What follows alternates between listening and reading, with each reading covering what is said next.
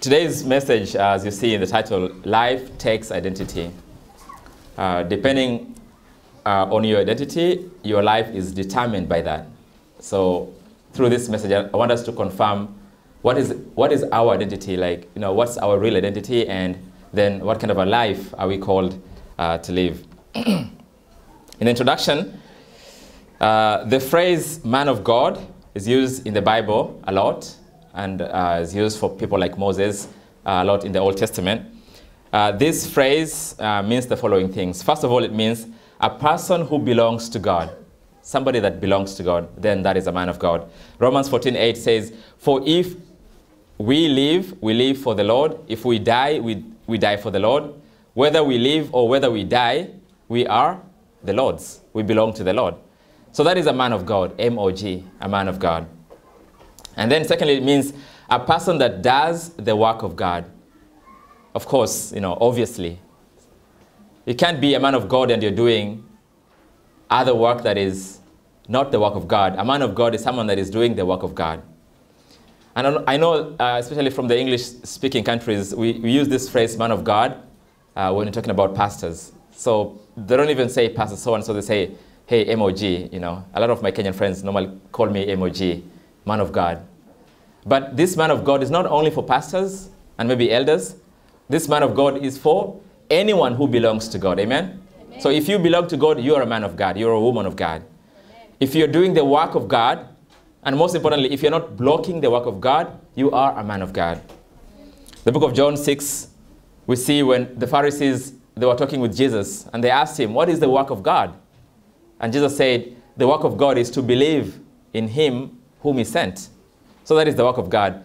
So if you believe in Jesus, you have done the work of God. Amen? Amen. If you don't believe in Jesus, no matter how you clean the church, no matter how you, you, you know, you, I don't know, whatever you do in the church, if you don't believe in Jesus, if you've not accepted Christ in your heart, you're not doing the work of God. So the work of God is basically believing in Jesus and receiving Him as your Christ.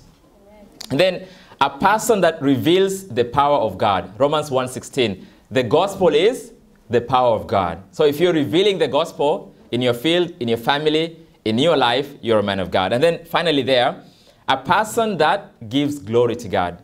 1 Corinthians 10 uh, 31 says, Whether you, uh, whatever you eat and whatever you drink, whatever you do, do it all for the glory of God.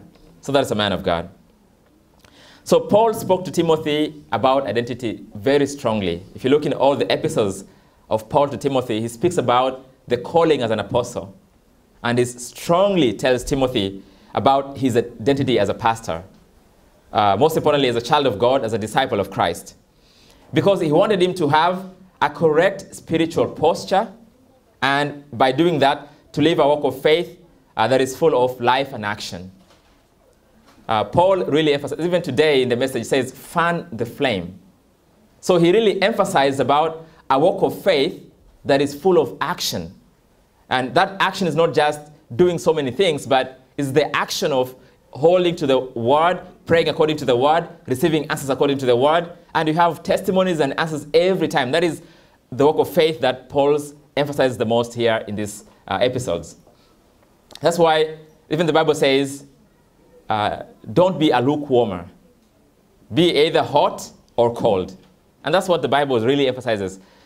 You know, even going to church for 30 years, 40 years, there are people who have not even once experienced the word of God being fulfilled in their lives. As the Bible says, the word is living and active. That means this word of God is working even right now. If you believe in its promises, you're going to see those answers happening in your life. For me, by nature, I think I'm not really somebody who could believe in uh, Buddhism or you know, those religions, oh, just like going like that, and it's kind of dark inside, you know, in their halls and all that. Um, there's one pastor that I know, he says, uh, not, don't even paint the church with like plain colors like this, paint it with like rainbow colors, you know, and make it, you know, really, really look fun and, and awesome. Well, because faith life is something to really enjoy. If you say, I'm saved, I'm a child of God, some people think that is a burden that they have to bear. It's something that you really have to enjoy and be happy every day because of that, what Christ has given to us. What does that really mean? don't be deceived by introductory things. Hold on to the main things. Hold on to the main things, the gospel of Christ that He's given us. So the first point is identity and spiritual problems.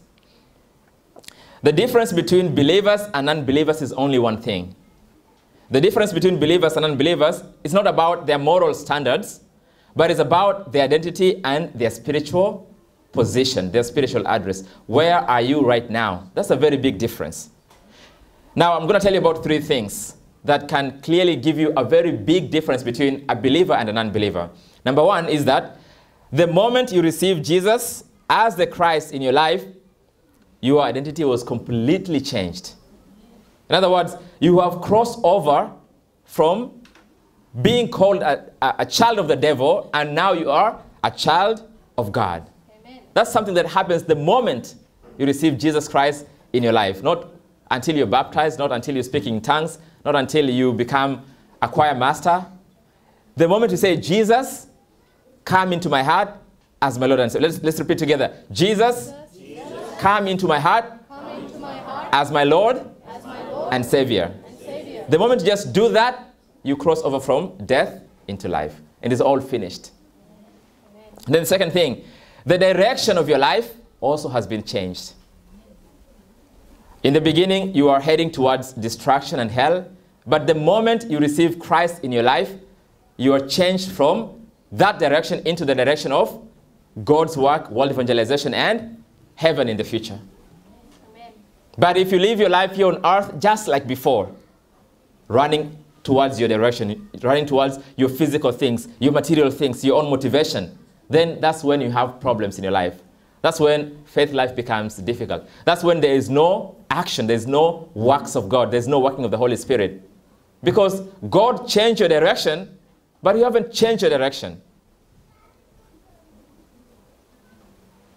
And then the third thing here is you are now in Christ. When you receive Jesus in your heart, you are now in Christ. Of course, Christ is in you, but you're also in Christ. Look up here.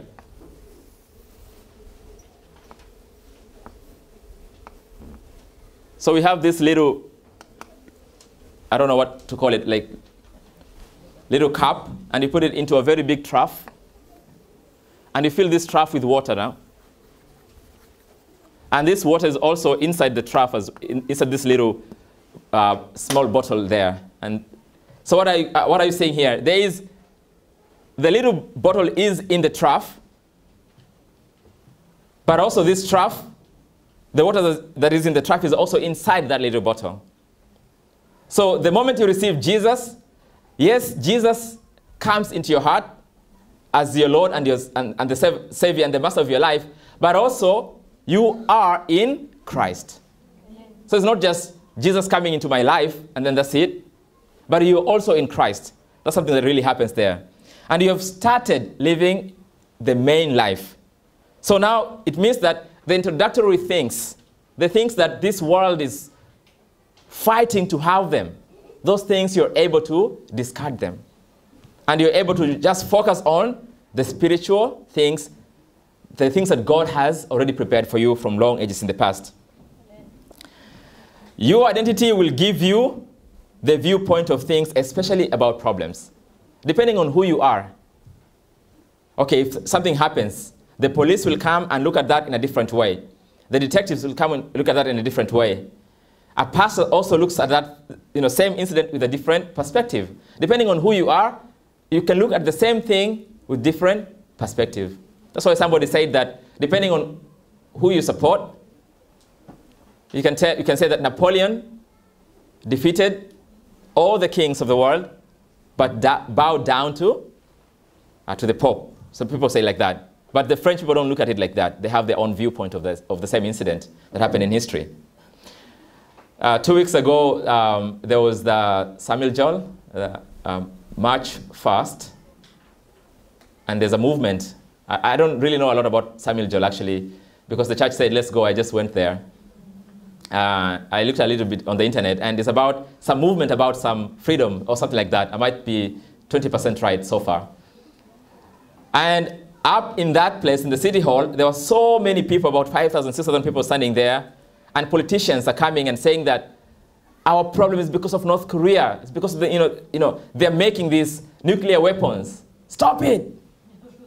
And, you know, somebody comes and, you know, everybody is saying things, telling that the problem of Korea is because of this. It's because of Kim Jong-un. It's because of Kim Il-sung. It's because of blah, blah, blah. It's because of our law. It's because of terrorism law, blah, blah. Any, a lot of people came and said different things. But again, in the middle of it, Pastor John came there too and stood there. And then he said, uh, all the people that were standing before me, uh, they've all said their words and they're all right. They're politicians, they're great people. But I'm a pastor, so I'm going to tell you about this same problem in a spiritual perspective. And then he proclaimed the gospel. Jesus is the Christ in front of everybody there.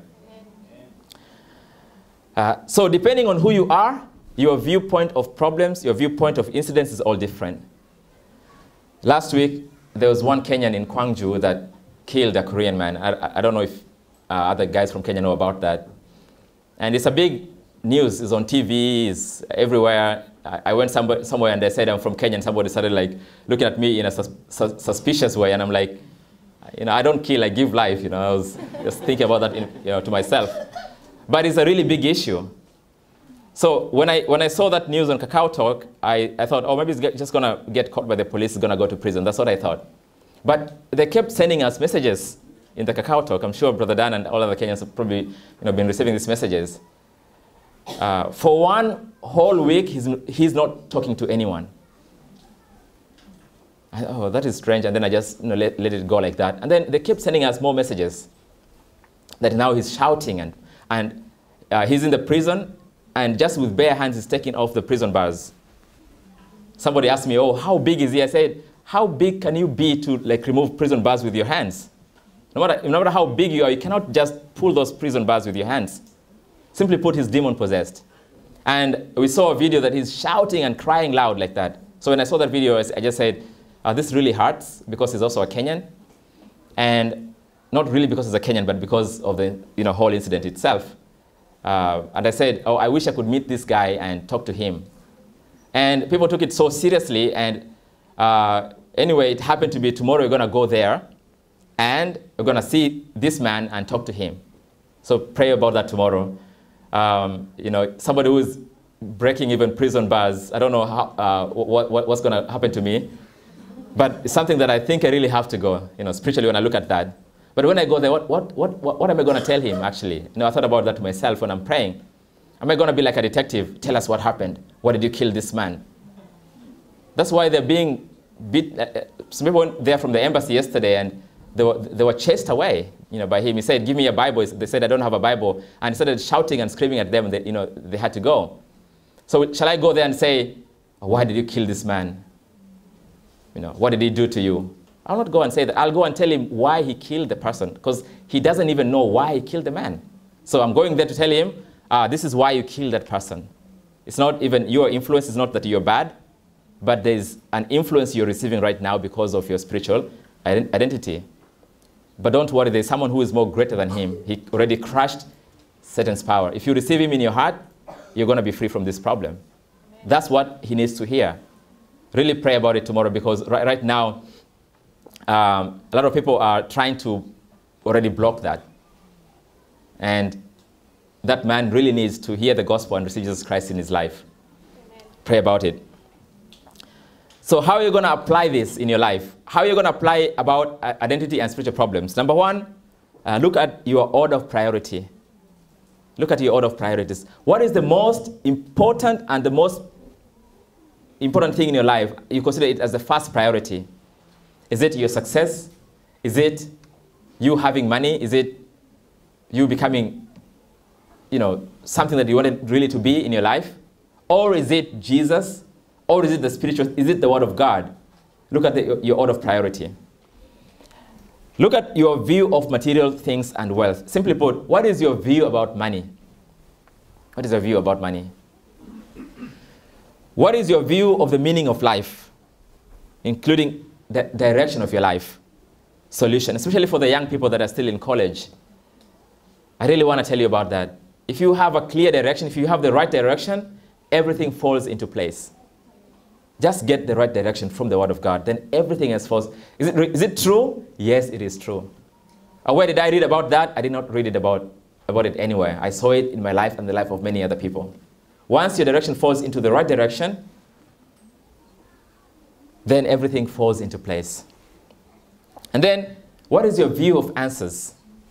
You also need to uh, focus on that. And then the second point, the second thing here, is about identity and spiritual battle. The first point was identity and spiritual problems, but now it's about identity and spiritual battle. Uh, before one receives Christ, that time, the Bible says clearly in the book of John 8 44, you belong to your father, the devil. That's what the Bible says. But, so the relationship between you and the devil before you receive Jesus is that it's like a father and a son, a family. And children normally hear and listens to their, to their fathers, right? That's why non-believers, all they're doing right now, they're just doing everything the devil is just instructing them and commanding them to do. To an extent, if they don't do it, then they have problems coming in their lives.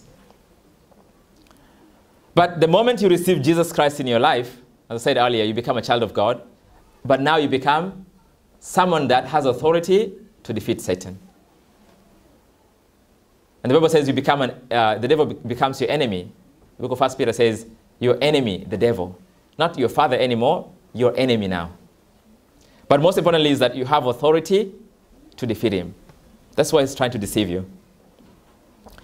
And man cannot change the identity by himself or even by the help of other people. In other words, spiritual identity is like a spiritual DNA. You cannot change it by yourself. But when you receive salvation, it is completely changed. Knowing about God or knowing about this, uh, God already prepared a way for your spiritual DNA to change. That's why the Bible says Jesus is the way, the truth, and the life, and no one comes to the Father except through me. This is the spiritual battle we need to fight even today. When you believe that Jesus is the Christ, you receive salvation. You receive this identity of now fighting against Satan. And in spiritual battle, there is no truce. There is no ceasefire.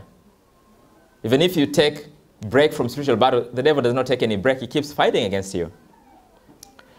That's why I want to really emphasize about this point that when we say Jesus is the Christ, this is not something I can just write on the board and say, you know what, uh, Jesus is the Christ. I cannot just do like, I cannot just teach you like that.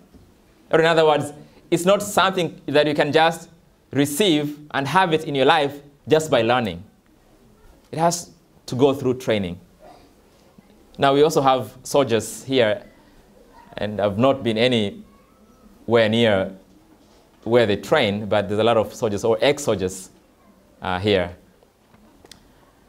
You know, I think if you, if you teach somebody how to shoot a gun, I think it's just by one time, you just show him like that, this is how you do it, you shoot it. Just, just one go, they can know how to shoot a gun, right?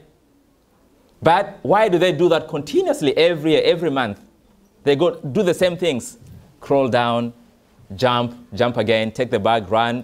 The same things, they keep doing that over and over again. Right now, about 17,000 soldiers in Korea are, are, training again. They do this every year, and they make North Koreans really, really prane for some reason. Why, why do they do that? Is that that they don't know about shooting a gun? Don't you think they don't know how to jump on a parachute?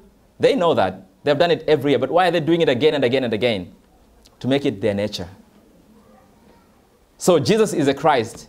Hold on to the word and pray. Hold on to the word and do evangelism. Just by listening to one lecture one day, you can know everything about it. But why do we repeat it over and over again, over your, over your ears again and again and again and again and again all the time? It's because if it's not your nature, you will not win in the spiritual battle. Look at the man I'm going to meet tomorrow. I'm sure he's a very kind person. I'm sure he has no problem. But right now, this has come to him, spiritual problem. If he had the answer, he could have, you know, just overcome already, but he did not have the answer of the spiritual problem. That's why, even without him knowing, he drags a 38-year-old man into the bathroom in the basement and kills him there, put chopsticks in his mouth and spoon in his mouth. Completely the works of Satan, the spiritual problem.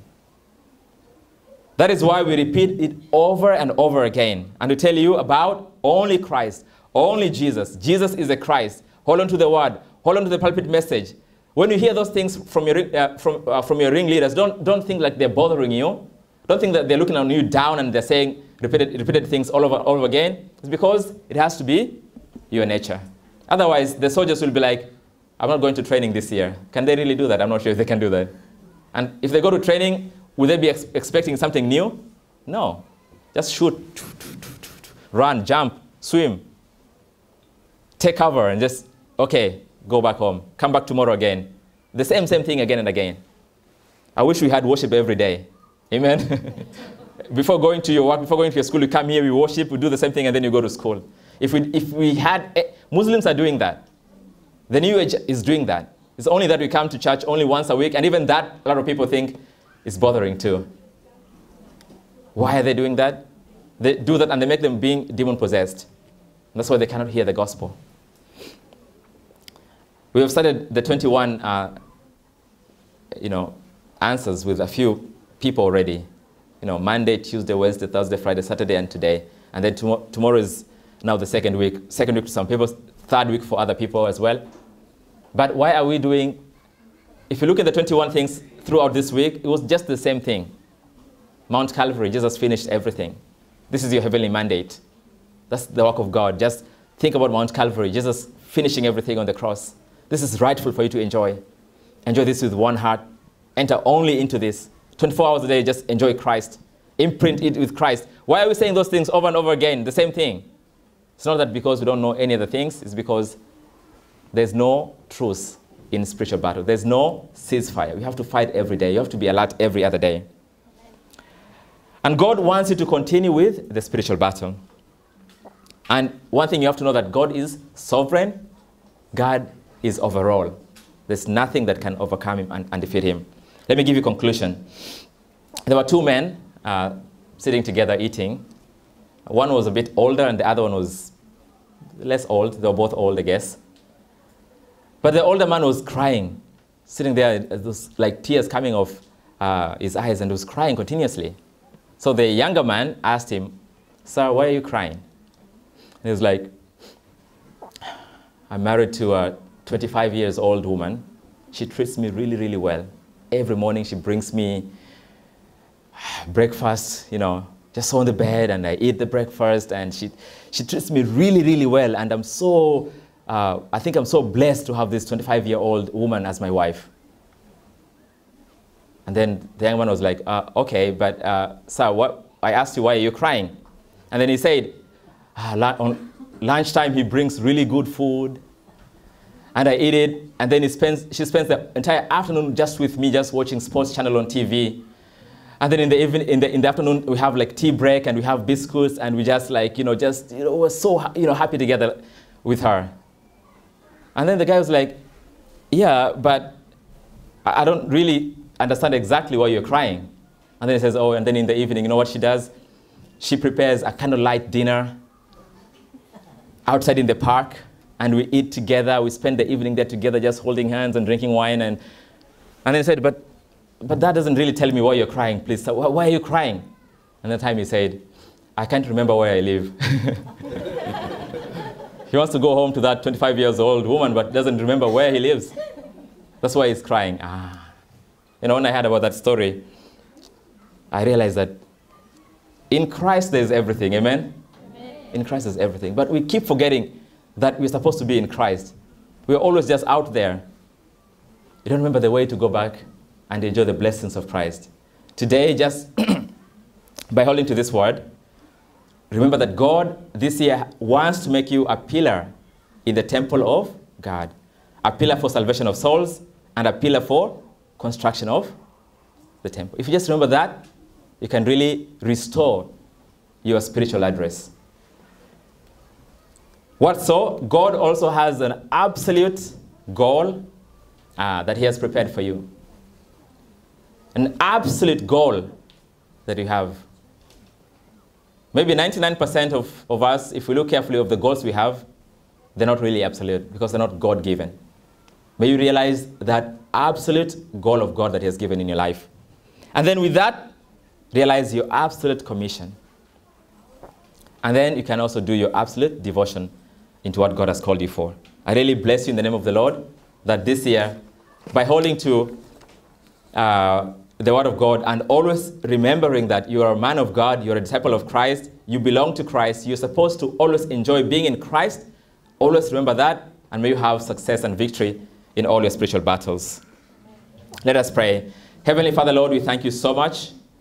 We thank you, Lord, for calling us as disciples of Christ, as man of God, people who belong to you, Lord, that we may declare your wonderful works of the gospel to our families and to our fields.